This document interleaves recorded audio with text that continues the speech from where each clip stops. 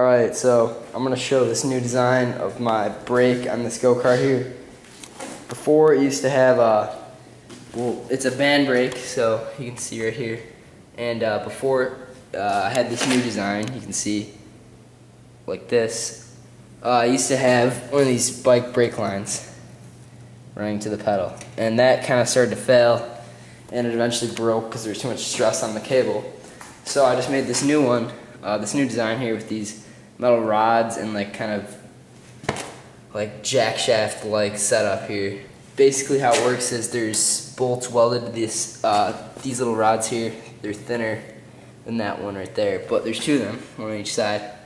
And the bolts are welded on so when you push the pedal it pulls the whole thing, turning this lever which is uh, held on by this whole little shaft here.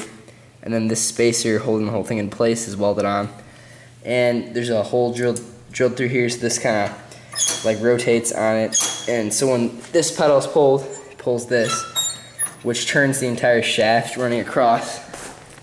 And then there's another one basically added on here which when that one's pulled over there by the pedal. This one gets pulled too. Pulling this rod which uh, eventually shuts the band over the uh, drum.